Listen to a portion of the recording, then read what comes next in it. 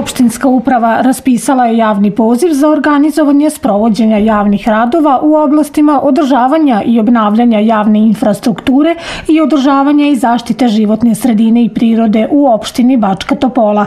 Javni radovi su mera aktivne politike zapošljavanja koja predviđa odobravanje sredstava za zapošljavanje nezaposlenih lica sa evidencije Nacionalne službe za zapošljavanje, odnosno teže zapošljivih nezaposlenih lica i nezaposlenih u stanju socijalne potrebe, a takođe će se radno angažovati i mlada visoko obrazovana nezaposlena lica.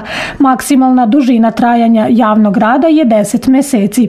Sredstva namenjena za sprovođenje javnih radova koriste se za isplatu neto zarade nezaposlenim licima, naknade troškova dolaska i odlaska sa rada, troškova sprovođenja javnog rada, policu i HTZ opreme. Sve dodatne informacije mogu se dobiti u opštini Bačka Topola i Odeljenju za financije opštinske uprave Bačka Topola na broj telefona 715 470. Svim poljoprivrednicima biće isplaćeni podsticaji za biljnu proizvodnju kao i subvencije za nabavku malih traktora, kažu u Upravi za agrarna plaćanja. Do sada je podneto 175.000 zahteva za podsticaje, a svake godine prijavi se oko 282.000 poljoprivrednika. Još 110.000 poljoprivrednika nije podnelo zahtev i njima će se isplatiti. Isplaćivaće se po osnovu dinarske ture koju su prijavili za ovu godinu, tako da ni u jednoj situaciji neće biti oštećeni. Svim onim poljoprivrednicima koji do sada nisu podneli zahtev za podsticaj za biljnu proizvodnju, novac će biti isplaćen do kraja marta na osnovu zahteva koji su podnosili u 2019. a to nisu učinili ove godine. Niko od njih ne mora da ide u trezor Trezor, kažu nadležni. Do petka se očekuje da će Trezor uneti sve do sada pristigle zahteve jer i njima stižu poštom, tako da će nadležni moći da naprave presek sa svim ovim subvencijama. Nadležni kažu da se situacija prati iz dana u dan, a da je jedna od prvih mera isplata podsticaja po hektarima i za gorivo bez podnošenja zahteva. To je preduzeto kako poljoprivrednici ne bi ostali bez subvencija u ovom momentu. Mart je za pčelare presudan mesec. To je period kada se pčelinja društva bude, a kako u prirodi još uvek nema dovoljno hrane za pčele, potrebno je raditi prihranu, poručuju stručnjaci. Pčele su još pre oko mesec dana, zahvaljujući blagoj zimi, izašle iz stanja mirovanja, a sada se očekuje intenzivan razvoj pčelinjih društava kako bi dovoljno ojačale i mogle iz prirode da unesu nektar, polenov prah i propolis. Kako u prirodi sada nema dovoljno hrane za pčele jer su temperature još uvek niske, a većina biljaka pušta nektar tek na 20 stepeni Celzijusa.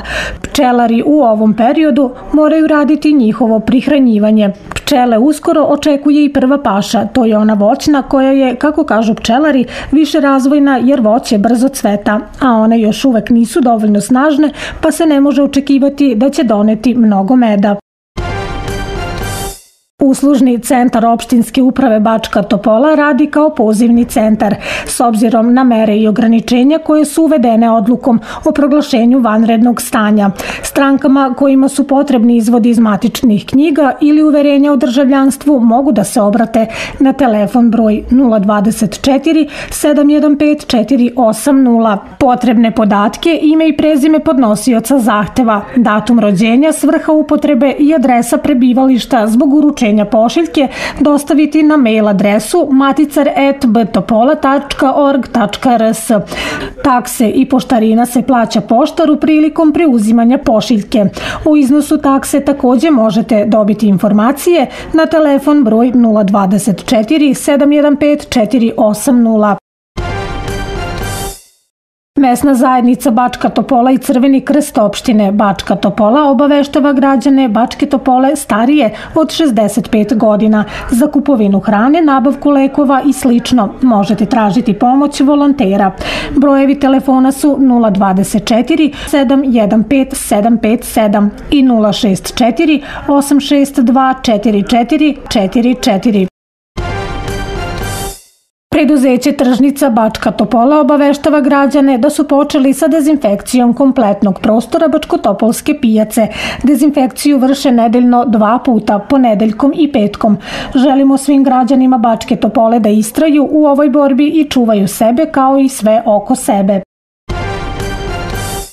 Kolektiv informativnog centra Bačka Topola u uslovima vanrednog stanja proglašeno na teritoriji Srbije 15. marta do daljnjeg će emitovati radio i TV program po izmenjenoj programskoj šemi. Verujemo da će svi koji nas verno prate to i dalje činiti na talasnoj dužini 107,9 MHz i TV kanalu Express Channel. U periodu od 9. do 15. marta na području policijske uprave u Subotici dogodilo se devet saobraćenih nezgoda. U sedam saobraćenih nezgoda jedna osoba je teže povređena i osam osoba je lakše povređeno, dok je u dve saobraćene nezgode pričinjena samo materijalna šteta. U navedenom periodu policija je podnela 41 zahtev za pokretanje prekršenog postupka, izdato je 1346 prekršenih naloga i iz saobraćaja je isključeno 12 12 vozača od kojih je za jednog vozača određena mera zadržavanja zbog teške ili potpune alkoholisanosti. U toku protekle nedelje pripadnici odeljenja za vanredne situacije u Subotici imali su 15 intervencija. Danas pretežno oblačno, vetrovito i hladno, mestimično sa susnežicom i snegom.